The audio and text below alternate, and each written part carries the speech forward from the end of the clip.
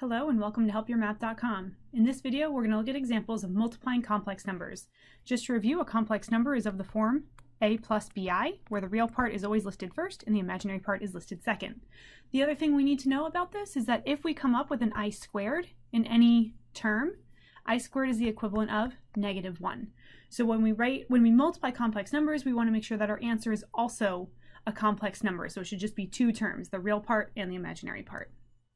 Our first example, we're going to multiply 3i to 2 plus 9i.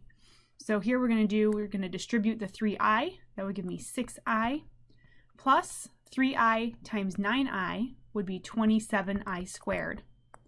Now i squared, as I just mentioned, is equivalent to negative 1. So this is like 27 times negative 1. 27 times negative 1 is a real number. So we're going to put the real number first and put the imaginary part second.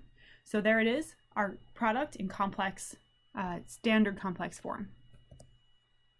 Here we have two real numbers that both have a real part and an imaginary part. So we're going to use, you can use FOIL or the distributive property, whatever makes sense to you.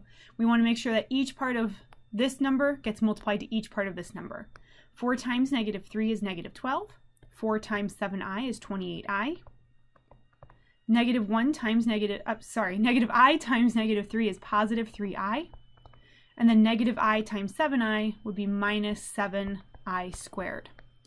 So we're going to combine our like terms. In the middle here, we have 28i and 3i. That would be 31i. And then also this last term, we have an i squared. Remember, i squared is equivalent of negative 1. This would be like negative 7 times negative 1, which is positive 7. Negative 12 plus 7, are, those are the two real parts. We can combine those to give us negative 5. So we end up with negative 5 plus 31i.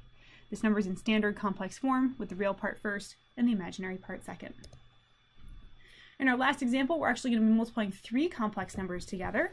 Anytime you do a multiplication with three factors, you can only multiply two factors at a time. So I'm going to start with this product here. Negative 2i times 3 is negative 6i. Negative 2i times negative 6i, negative times negative is positive, 2 times 6 is 12, and i times i is i squared. I might clean this up before I go ahead and distribute to that last number. Um, i squared is equivalent to negative 1, so this would be like 12 times negative 1, or negative 12. I'll put that real part first, although really in the middle it doesn't matter. So we'll have negative 12 minus 6i, and we're going to multiply that by negative 5 minus 2i. A lot of negatives going on here. Let's see, we get negative 12 times negative 5 is positive 60. Negative 12 times negative 2i would be positive 24i. Negative 6i times negative 5 would be negative, uh, positive 30i. And negative 6i times negative 2i will be positive 12i squared.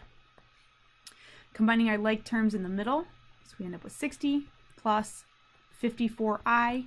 Here we have that i squared, that's negative 1. 12 times negative 1 will be minus 12. Now we have like terms of 60 and minus 12. So that gives us 48 plus 54i is our final product. If I already said I was doing the last example on that previous slide, I'm just kidding. I added an extra slide. Um, I want to look at this one just because of what ends up happening here. So we have 5 minus 2i times 5 plus 2i. When we distribute, we have 5 times 5, which is 25.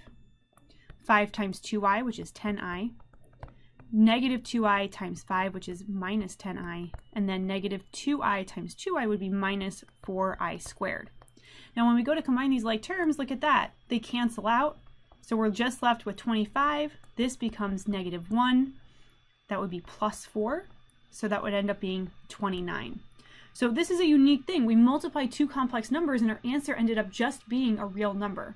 That's going to happen when we have this pattern here. So we have the 5 plus 2i and 5 minus 2i. Those are called complex conjugates.